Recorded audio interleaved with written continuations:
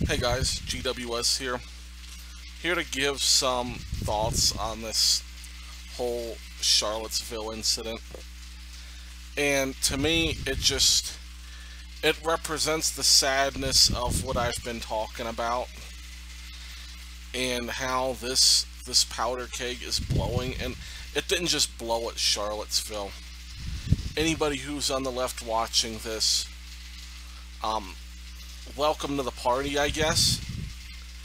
Because these protests, Antifa, BLM, and yes, even the white nationalists and patriots and all that, you know, this has been going on for ever since Trump was elected. They took to the streets, start chanting, not my president, and before that, when you have Black Lives Matter chanting for dead cops in the streets of New York, and it's just, it's, I, I'm not even pointing fingers at any of this. Well, here's what I'm saying, is we've had this problem,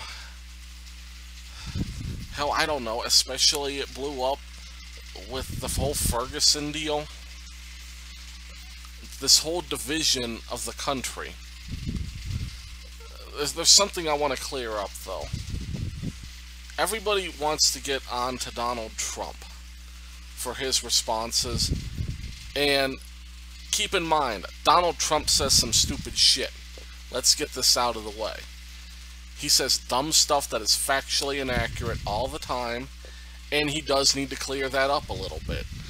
Granted, he's on Twitter. He's he doesn't have a filter through his Twitter, but you know it could be cleaned up. Like he he could you know be a little bit more careful with what he posts. But everyone's getting on to him for his message because he's not using specific words.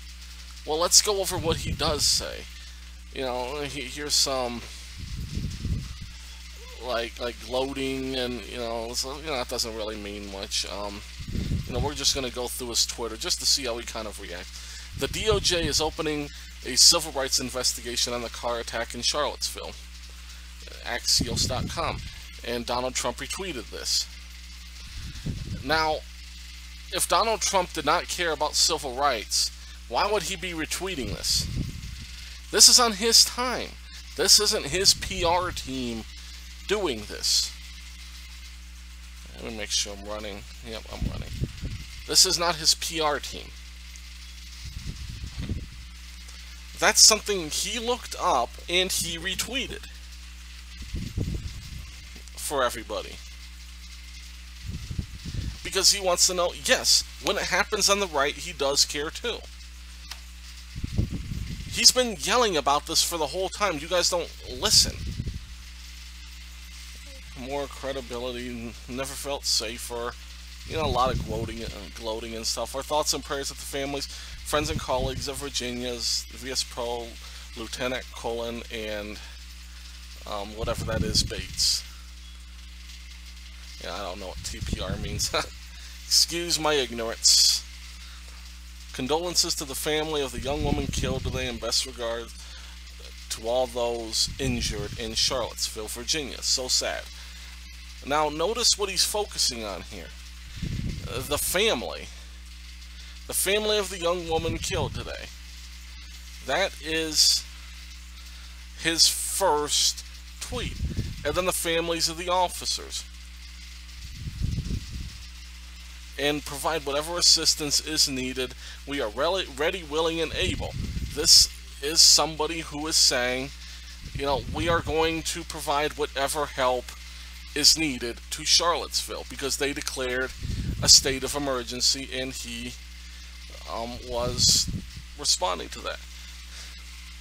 No matter what our color, creed, religion, or party, we are all Americans first. And that's important. That is a message of uniting. Swift restoration of law and order in the protection of innocent lives. Why was the, why do these mayors keep issuing stand down orders on these protests?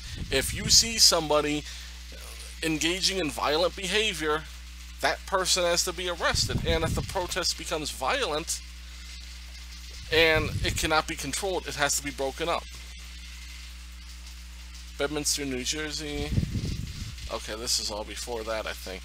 So, Trump is focusing on uniting the country, not finger pointing. See, here's the thing. The left wants the focus to be on finger pointing. Point out the right nationalists. Point, tell, you know, call out their names. All right.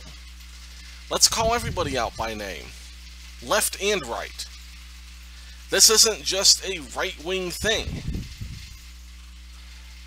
It's like I said, welcome to the party. I'm glad you finally arrived. Now can we all, everybody, left and right, even the fucking alt-right that won't even denounce this. Let's all denounce all violence. No touching. That is what politics is. Keep your hands off of each other.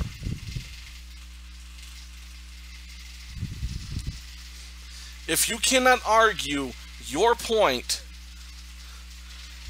through nuance, uh, through the convictions, through your principles, through your rhetoric, you know, through your skills, then get the fuck out of politics. All sides. Every damn one of you. You know, I don't care. You know, people talk about words, being offended. And this is left and right. This isn't just left wing SJW snowflakes. No, this is all sides. Everybody. If you are offended by words in arguments and you cannot properly refute them, then like I said, get out. You don't belong there. That doesn't mean guns or fists or cars or sticks or what have you. That's what politics is debate, nonviolent. You know, I'll debate anybody till the cows come home, and yes, it may devolve into some name calling. You know, that's just how it happens on the internet. But you know what? At the end of the day, I'm still going to wish the best for you. If I saw you in trouble on the side of the road, I'd still come and help you. Because when it comes to humanity, it doesn't matter. What your political leanings are, everybody is a human first. This whole thing just it makes me sick how all sides are responding to it.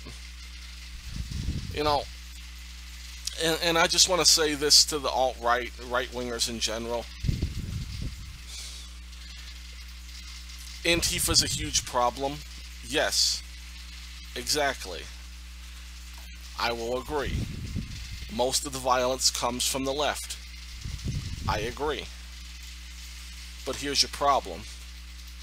It's easy to play the victim. Easy. That's the easy part, being the victim. It's a lot harder when you got to turn around and you have to denounce what you stand for, your own side, for the things they do wrong. So, if you're really principled, if any side is really principled, they'll turn around, they'll look at themselves, they'll look at their neighbors and say, You're wrong when that kind of activity goes on. Thanks for listening. God bless.